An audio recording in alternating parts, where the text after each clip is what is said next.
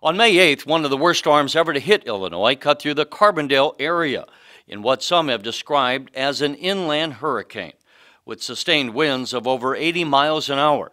We hear from those who were there and what the state and utility companies are doing to restore power and clear roadways of massive debris piles. This, the width of this storm, the width of this storm is probably about 12 miles wide, uh, or 12, maybe even 15 miles wide. It was not like a tornado where it just rips a path, you know, 200 yards, 300 yards wide and, and goes across.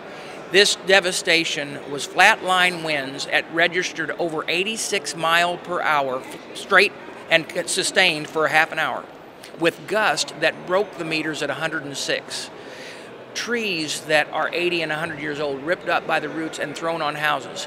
When flying over to survey the damage, the wide path of destruction, and then you could see little more severe paths where maybe many tornadoes were in this. I don't think that we have seen, I had never heard of anything like an inland hurricane before, but now I, I know exactly what it is. This, this was a devastating storm, devastating, uh, not just from the standpoint of, uh, I think, 67,000 people were without power, but, but the trees, and I mean enormous trees, oak trees, just uprooted and uh, hitting homes. Um, uh, I, am just amazed that there were uh, as few injuries. Uh, uh, uh there was one death, tragically, that was reported in Carbondale. but when you see the, the, the total destruction um, on a multi-county basis, um, it, it, was just something that most people in Southern Illinois had never seen before. I had just dropped my office manager off at the office and I was uh, headed home for a minute to grab my uh, four-year-old son who had been at my father-in-law's. And by the time we got to the house, uh, it was uh, full-scale inland hurricane. and so um, grabbed my son, ran to the basement, and then we uh, stood in the basement and watched the roof of our house fly off and trees fly by. And it was just really hard to, uh, hard to fathom. And my father-in-law, who has been around for many years, kept commenting about how the winds just kept coming and just kept coming. And so we had 80 mile per hour winds gusting to 100 miles per hour, and they went on for, I'd say, 20 minutes, which normally, you know, a couple of minutes and it's over. So it really seemed like we were in a hurricane type situation in terms of they were just sustained straight line winds, and it just really devastated our area. You know, the gas stations shut down, our grocery stores were shut down, people didn't have no power, you know, people had trees on their houses, uh, tore great big holes in the roof, you know, and it, it was just, it looked like a bomb went off. I mean, it was just, it was just, people don't really realize what it is, because you to see it firsthand. We have, we have one school down in Jacob in the eastern part, of, or the western part of uh, Jackson County. Uh, the gymnasium was, was blown apart.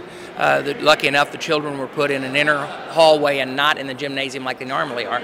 Um, trees that are 80 and 100 years old in Murphysboro, Carbondale, and all around Jackson County, just literally ripped up by the roots, thrown on houses, uh, many crushed and destroyed houses. We were lucky enough that, that there were, you know, the death toll was minimal, few in injuries. We actually had sustained a lot more injuries of people doing cleanup afterwards. Uh, we are, uh, you know, the, the, the, the groups came together, whether it's state help, our locals and volunteers were just tremendous that came together to get the roads cleared quickly and to get the electrical companies out, whether it was the co-ops or whether it was Ameren, uh, and the crews in and starting to turn everything back up. And then, and some of the damage is just going to take years to straighten out.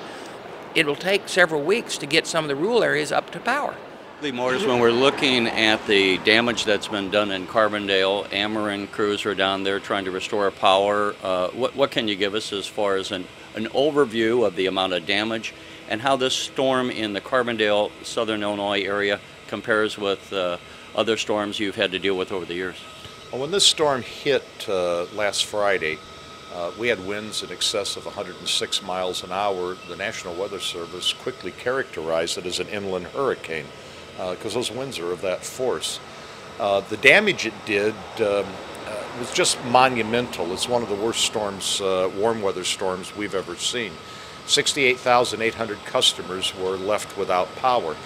we had broken poles, we had trees that were thrown into power lines, uh, we had roofs off of buildings that were thrown into power lines. Uh, there were houses that had been leveled. There's been cars destroyed. Roads were impassable. Tree, uh, trees, uh, the root balls on the trees, 12, 14 feet high. That stuff all has to be cleared. So it was just massive destruction uh, of, of, a scale that you rarely see. Uh, and this is what happens when you have these very violent straight line winds. Now, how, how does a utility like Ameren plan for something like this? Because it's an act of God. Uh, how do you how do you plan the manpower, the materials, the expenses of, of dealing with such uh, acts of God like this? Well, you know, the Army Air Corps uh, had a motto was uh, uh, the difficult uh, we do immediately and the impossible takes a little longer. Uh, and we're always dealing with those types of situations. And, and, you plan for the unexpected. We have an emergency operations center, which is based in Decatur. Uh, that takes over, that takes charge as soon as we have a major storm event. We have storm trailers.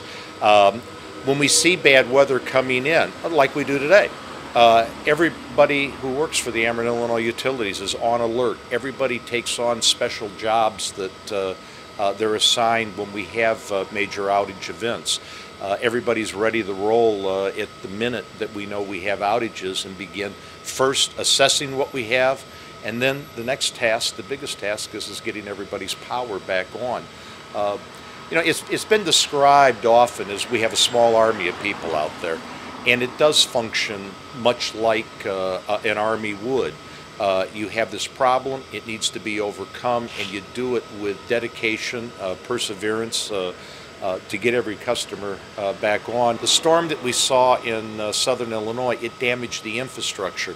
Uh, we've replaced hundreds of poles. Probably by time we're done with this, it's going to be a thousand or so poles that will have to be replaced. We've already put up over 50 miles of wire, of electrical wire, and I know that there's going to be more miles yet that have to be put up. It's those kind of things, when you have that infrastructure that get knocked down, you are in effect rebuilding your system.